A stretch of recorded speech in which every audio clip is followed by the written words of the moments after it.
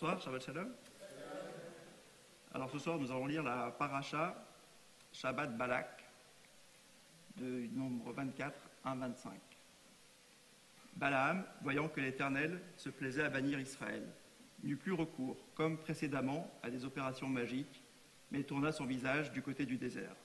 En y portant ses regards, Balaam vit Israël, dont les tribus s'y déployaient, et l'Esprit divin s'empara de lui. Et il proféra son oracle en ces termes.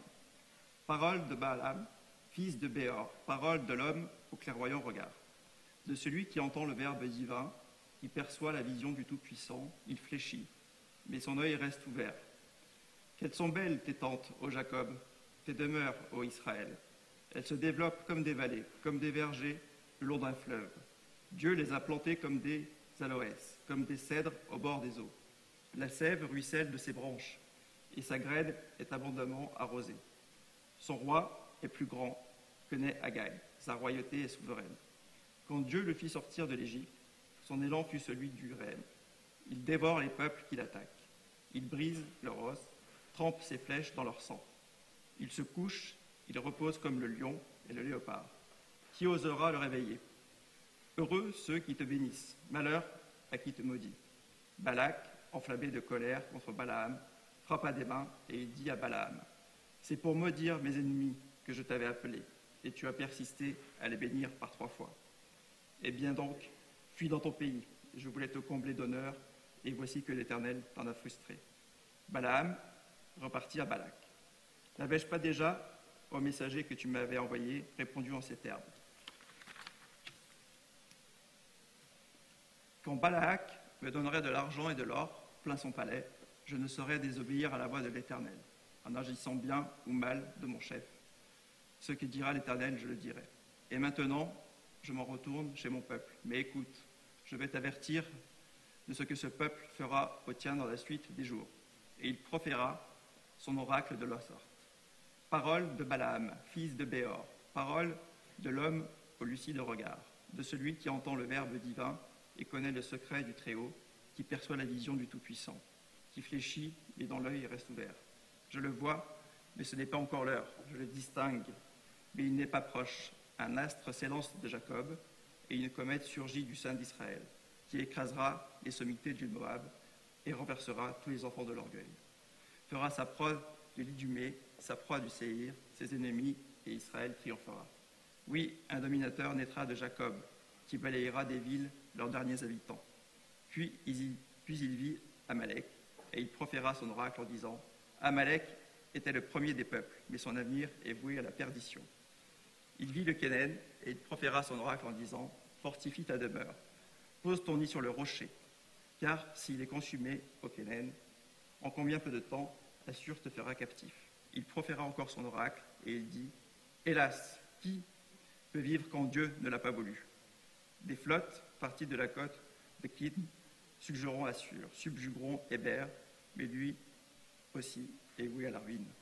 Alors Balaam se leva et reprit le chemin de son pays, et Balak aussi se remit en route.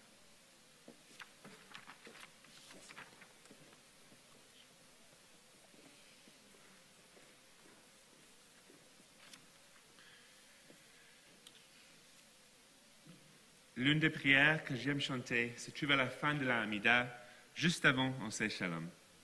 Elle se trouve à l'intérieur de la prière pour la paix, Shalom Brav, et ses premiers mots sont V'tov be'enecha.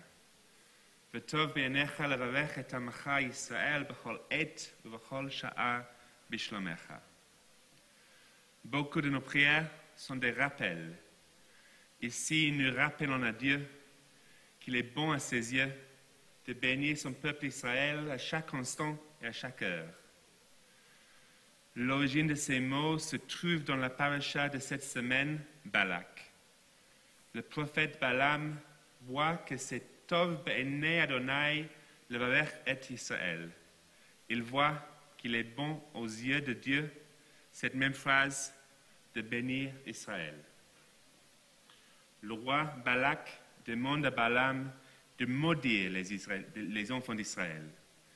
Mais les prophètes se retrouvent incapables de lancer une malédiction sur eux. Au contraire, à chacune des trois fois où il tente de parler, il finit par bénir les enfants d'Israël.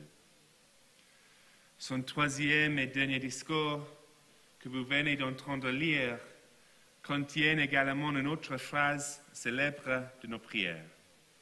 Matovu ohalecha Adonai, mishkenotecha Israël. Que tes tentes sont belles, ô Jacob, tes demeures, ô Israël. Cette ligne est traditionnellement une prière liminaire qui doit être prononcée individuellement lorsque l'on franchit le seuil d'une synagogue. L'idée est que chaque fois que l'on entre dans une synagogue, on est frappé non seulement par ses beautés physiques, mais aussi par le sentiment de sanctuaire, de spacieux, de rassemblement en tant que communauté juive. Cette prière a fini par être incorporée au livre de prière au Sidur et vous la trouverez, donc à la page 2 du Sidur du Gil. Elle trouve également sa source chez le prophète Balaam. Il poursuit sa bénédiction poétique par une série de comparaisons. Comme des palmeraies qui s'étendent, comme des, comme des jardins au bord d'un fleuve, comme des aloés plantés par Adonai, comme des cèdres au bord de l'eau. Et voici comment Sfono commence ce verset. Les académies de Torah et les synagogues sont pour la multitude ce que les ruisseaux sont à l'irrigation des champs, comme une bénédiction matérielle. Les personnes qui passent leur temps dans les académies de Torah et les synagogues recevront pour leur âme ce que leurs champs reçoivent des eaux, des ruisseaux décrits, par Balaam. Nos âmes ont soif de prière et d'étude. Et la communauté juive est là pour étancher notre soif. C'est pourquoi, après les vacances, nous mettons en place un nouveau programme d'éducation pour adultes au Guil.